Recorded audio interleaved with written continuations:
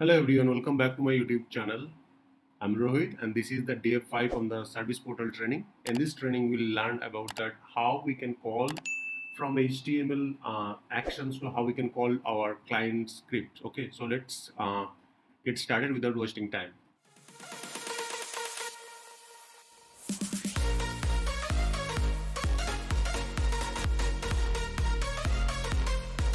So this is my ServiceNow instance and if I go back to our uh, training portal training, uh, let's go back to our portal training. In this in this uh, first homepage, we have not done much things.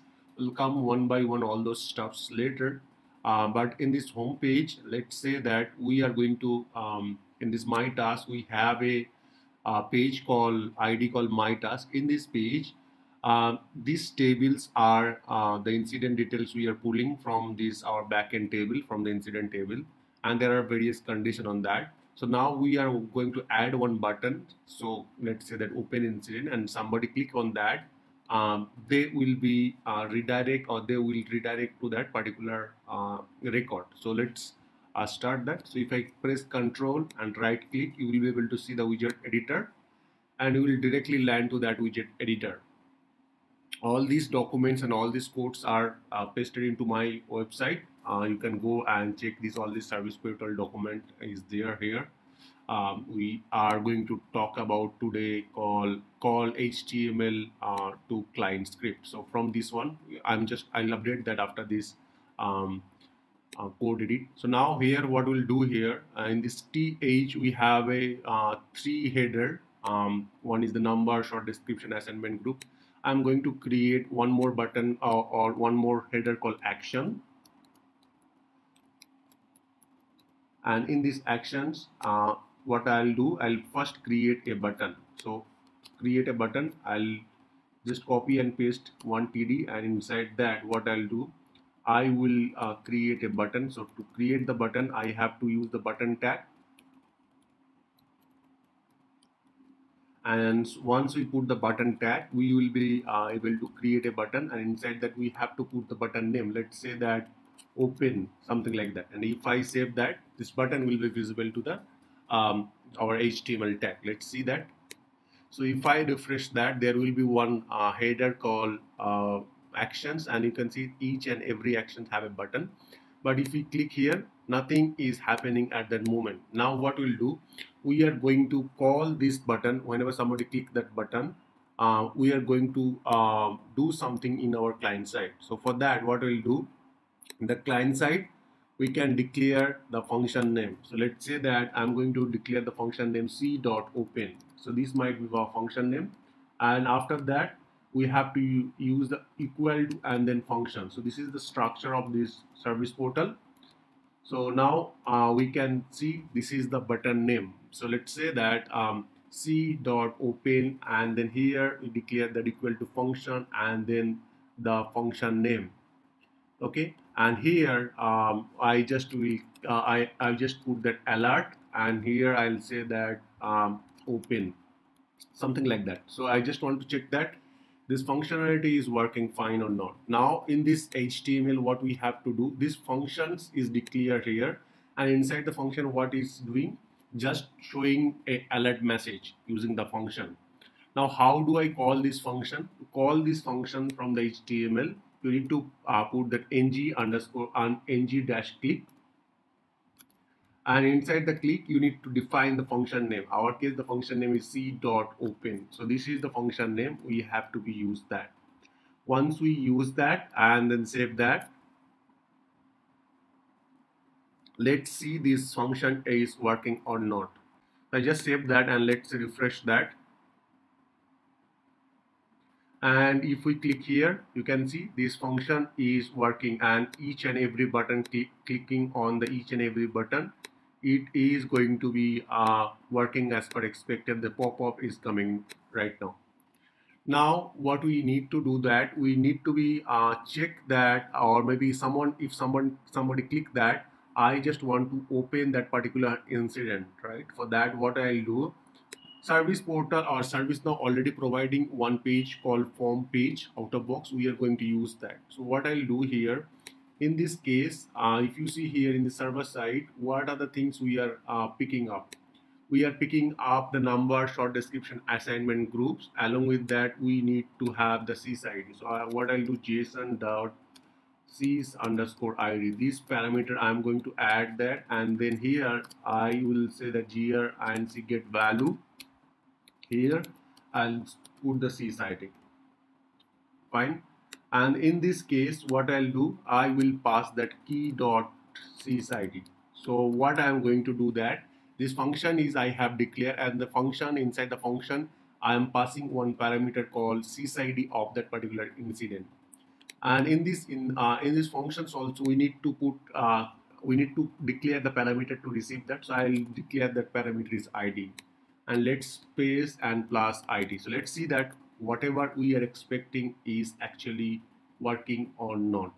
So what will be happen now if we refresh our page and then click on the button it will be show the open and then it will be show the sys id so let's refresh that and now if i click here open and you can see that it is showing this that particular incident sys id so 601 particular incident sys id started with the 9e and 1f so if i click here so you can see each and every incident showing the different different sys id now if we if i click here it should open a, a form.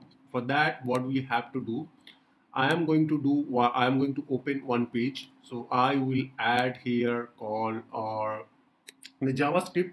I'll do that later part but in the JavaScript we have a call window. Uh, and then we have a call window.open function. Inside the window.open you need to provide a uh, uh, URL that URL you just trying to open that. So our case what URL I am going to uh, what URL I'm trying to open that. So first I'll declare a variable called var URL and inside that what URL I am going to open that the um, if you see this this is the uh, key. And then after that I want ID equal to form page. So ID equal to form. I want to open a uh, form page. And here I will say the table equal to uh, incident. And sys underscore id equal to the id I am receiving. So this page I just want to open.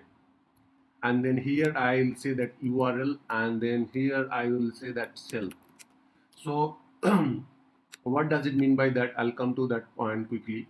So URL, which URL I just want to open and then here you need to define the target. You want to open a um, separate tab, you want to open the same tab so that um, uh, you need to um, define here okay? So let's save that and try to um, open that our uh, incident. So let's save that and if I refresh here. Now if I click here it should open uh, that particular incident on that uh, same page. You can see this incident is opening.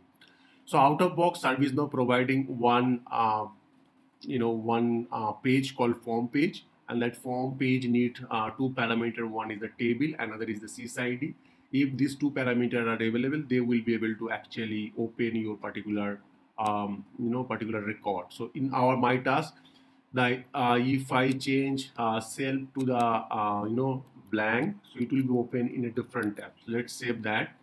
And now if we refresh this page when I will click that open button it will be create or it will be create an um, tab and open in another tab. So let's say this is the ATF one. So if I click open, it will be open in a different tab and this tab it will be open that particular incident which is 101 and then short description is ATF test. So this way you can open any particular or you can redirect any based on these actions. So very basic thing is that from the HTML we can call any client side script and here whatever functions we are expecting or whatever function we are we want we can make those functions or we can make the we can call these functions available here. So this way we can call any function. Let's say we can we can do a different thing. So let's say here we are as i mentioned that the this is the action. If you see here this is the action. In this action what we are doing we are performing um, you know opening that incident. So let's say that I will say open incident. So this might be one of the actions. And then here we can pass another parameter called open and these functions uh, this function can be received here called actions and then here we can put that alert message and see that that actions that we are passing the value hard-coded value open we are passing is actually we are receiving or not so let's refresh our form this page. Once we refresh that the button name is updated open incident. If we click that it will be show an alert message called open. And then once we click ok it will be open another tab. Now here we can define the condition called if action equal to equal to open we want to perform certain actions. So what action we want to perform? That we are defining here. Else alert. So so that that we are defining here. So let's say in this case we are going to create two button. So let's say open incident and close incident something like that. So this is open record maybe. Okay? And then here I will say that close. Two button right now we have created and then uh, we have put the condition. So if the action is open then it will be open to that uh, particular um, record. Otherwise it will be just show that alert. Let's refresh our tabs and see. There will be two actions right now available. One is the open record another is the close incident. So once we click the open incident you can see it is redirecting to an opening that re record itself. Okay?